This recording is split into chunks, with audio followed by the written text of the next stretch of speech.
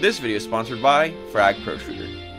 Power Rangers Time Force is a series all about the future. It's also one of the series that is most known and recognized in the Power Rangers franchise. Loved by fans and critics alike, it is definitely one of the best seasons out there, with some of the best cast and villains that we may ever have. So 20 years after its initial airing, where's the cast now? Well, let's talk about it.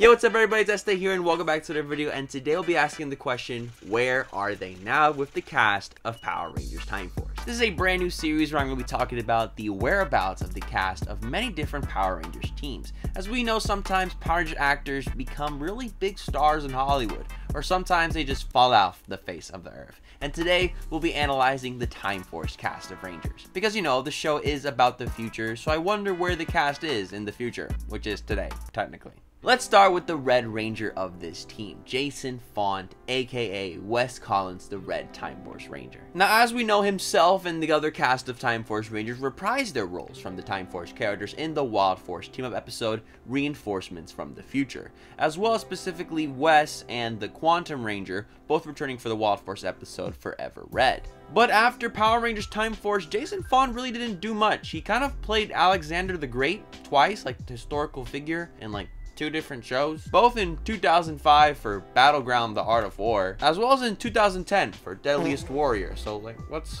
that's weird. I also saw that he appeared in like this weird movie called Honeymoon in Paris, which is basically about a group of single ah. people in an island trying to get together. But the movie's set as a reality TV show, but it's not a reality TV show. It's a movie. It's a work of fiction. It's, I don't know. The plot was very confusing in my head when I was trying to read it up on it. Regardless of all this confusing stuff in Jason Faunt's filmography, he obviously did return as Wes later on in his Power Rangers career. More specifically in 2014 during the legendary battle where he teamed up with the likes of Jason David Frank, the Megaforce Rangers, and stuff like that. He also appeared in Super Ninja Steel on like a few separate occasions actually. There was of course Dimensions in Danger, and then he appeared as a hologram a few times or like this Christmas special. He appeared as a hooded figure. Wes was there. But speaking of Jason David Frank, he is actually working with him right now in Legend of the White Dragon, so that's something to look out for because King Bach Bruh. is in that movie with uh only a spoonful. This this is the part where you laugh.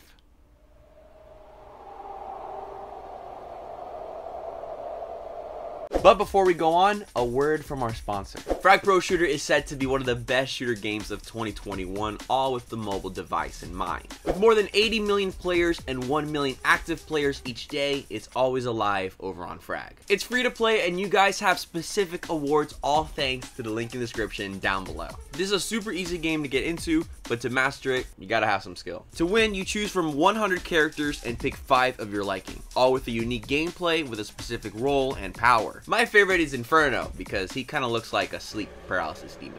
I'm scared. And for a mobile game, the graphics are really good. You know, the characters have a really nice design. The maps are simple, neat, easy to look at, and just really just aesthetically pleasing for me. But once you get your team, head over to the enemy bunkers to go take them down. With you needing two bunkers destroyed in order to win.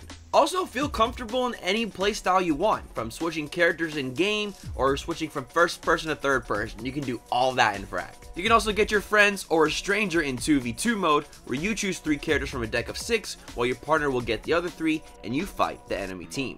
This game also has new content all the time, including the brand new character Piper Reese, who is a Hollywood star and the host of the Tournament of Frag. For someone who is a singer and also had orange hair in a past life, I enjoy Piper a lot. And guess what guys, all of you E-Squad members will be getting free rewards in this game. That's right, free rewards. Even if you have Frag Pro Shooter already installed, click the link in the description down below, right below the like button, you can't miss it to get your free rewards. You'll be getting an X1 golden chest, 5,000 coins, and 200 diamonds worth $10. So, what are you waiting for? Join me and the millions of other players today on Frag Pro Shooter. I even have my own club called the E-Squad. Come join, I would love to have you. I'll see you on the battlefield. Now let's move on to Michael Copon, who played Lucas, the Time Force Blue Ranger. Now this guy is definitely another story because he definitely went on to be doing a lot more acting roles in his career. Besides returning for the Wild Force team with the rest of the Time Force cast, he went on to star in about a few episodes or so of the WB's One Tree Hill. Some of you may also know him as Ricky from Disney's That's So Raven. He was playing a guy in a boy band called the Boys in Motion. I love this song. Boys, we are the boys in motion. boys, we are the boys in motion. Five Local Better and Ratio. He also had a main role in Bring It On In It to Win It, a direct-to-DVD film sequel of the Bring It On series. Okay.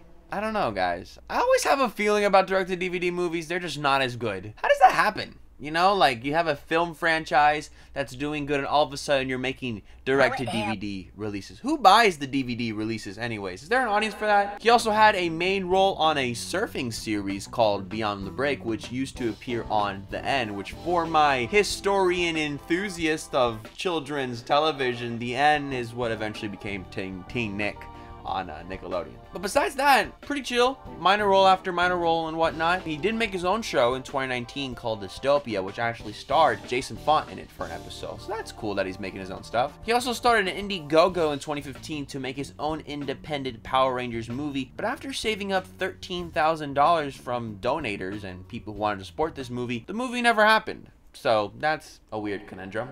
And hey, if you're enjoying this video, be sure to give this a big old like because 1500 likes, it's a brand new series. I'm sure I want to give you more. So hey, what's your favorite Time Force character? Let me know. Press the like button, lock in your answer. But moving on, we got Deborah Estelle Phillips who played Katie, the yellow Time Force Ranger. I actually had the honor to meeting her in a Puerto Rico Comic Con a few years ago. She's very nice and very splendid. And guess what? She hasn't really done much after Time Force either. The only thing to note here is that she starred in a web series called The Kavanaghs, which is a show about a group of friends trying to make a TV show, like a failed pilot and whatnot. It's a nice concept. She also starred in a 2010 film called The Company We Keep, which is a movie about a group of friends at a record label creating music artists. So she's in a lot of stuff about creation. That's the joke I wrote in the script. It doesn't really sound good when I say it. Then we got Kevin Kleinberg. As you know, he plays Trip, the green Time Force Ranger, the dude with the green hair. Who am I if I have the purple hair? Am I the purple Time Force Ranger? No, I'm not. I'm not. I love how in each video you can see me slowly like moving to insanity.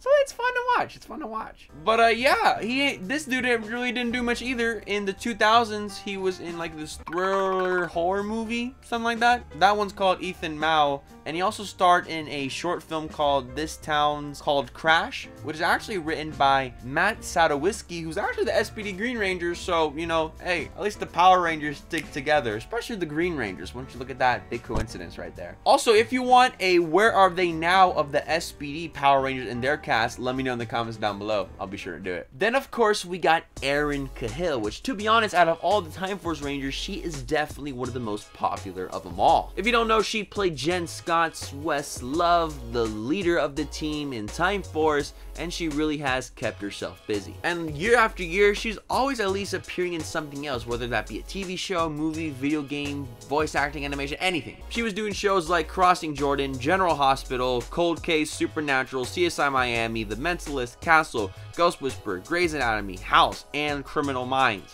So that's like a lot of known TV shows out there. That's crazy. But she also has some more notable roles in other shows. If you are a comedy viewer like myself, you may know How I Met Your Mother. Well, actually, she played Ted Mosby's sister, as well as Kendra Burke over on Saving Grace. She also has a little recurring role as Felicity in The Red Widow, not the Black Widow. MCU joke. Okay, that's it. There is one big thing though that she is actually one of the first ever female protagonists in a Call of Duty game. More specifically, playing Chloe Karma Lynch in Call of Duty Black Ops 2, as well as having a role in Resident Evil Vendetta back in 2017. But I'll let you know, Erin's character Jen is the only other Time Force character besides Wes and the Quantum Ranger, which we'll talk about in a second, to reprise their role after the main show and of course the main team up, with Erin coming back as Jen over on Power Rangers Hyperforce kind of being the one that not really necessarily led, but created this new team of Rangers. If you want to see a full video about Power Rangers Hyperforce and what that is, if you don't know what that is, of course, check it out, icon on screen. But I will mention right now that Erin Cahill, as well as the other Time Force members, were supposed to appear in another Power Rangers movie called The Order, which is a Power Rangers fan film made by the actors and actresses who were in Power Rangers. But that movie never came out and we never saw the likes of them on screen again. By the way, if this is your first time watching me, hello, I'm Este. Nice to meet you. Be sure to subscribe and ring notification bells so you join the E Squad today and don't miss out on any single one of my Power Ranger videos. I upload every single week, so be sure to come back, enjoy them. You know, we have a good time. We talk. It's a conversation you and I have. Moving on to Dan Southworth, though, he played Eric Myers, aka the Quantum Ranger. I met him myself as well, and this dude is also really known as well, but in the video game world. You may know him as playing Vergil from the Devil May Cry series, as well as Kenshi in the web series Mortal Kombat Legacy 2, as well as working motion capture for Killzone Shadowfall, Battlefield 4, Ninja Gaiden 3, Dark Souls 2, Resident Evil, Halo 3 Full Combat, and there's one more thing here that's actually really surprising me. He actually did help in the early visualizations of Avatar, that movie that sold billions of dollars and was basically a big commercial on 3D.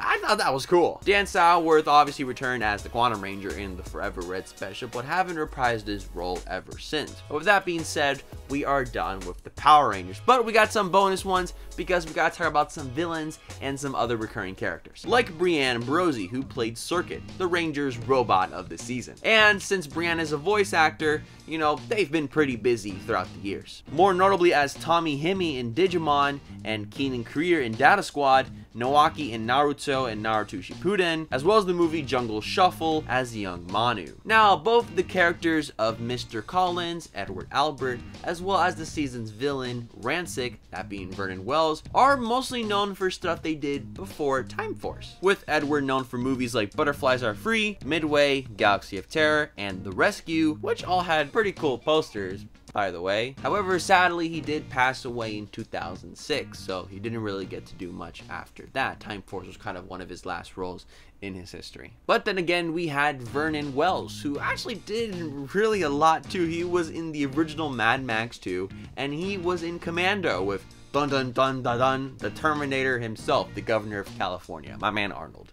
But really, he's kept it low key. Like, he had a cameo in Looney Tunes Back in Action, which I like that movie, by the way. A lot of people hate it, but I enjoy it. What do y'all think? Do y'all like Looney Tunes Back in Action? He was also the voice of Gandalf in a Lego Lord of the Rings short, as well as doing video games and stuff, like Darksiders 2. And a numerous amount of other roles. Like, he had a history already. He can just keep it down low for the rest of his life. Who's gonna know? But last but not least, we have Nadira, who is Ransik's daughter, kind of the sidekick to the villain of the way. She's played by Kate Sheldon, and she has done nothing.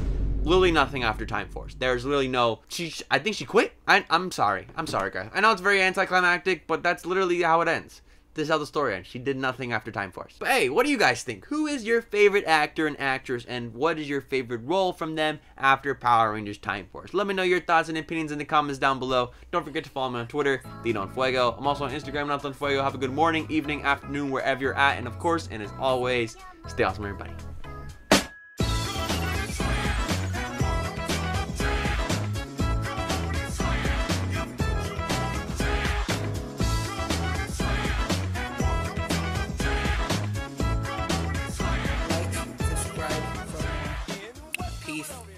This is this is the part where you laugh. It's about drive. It's about power.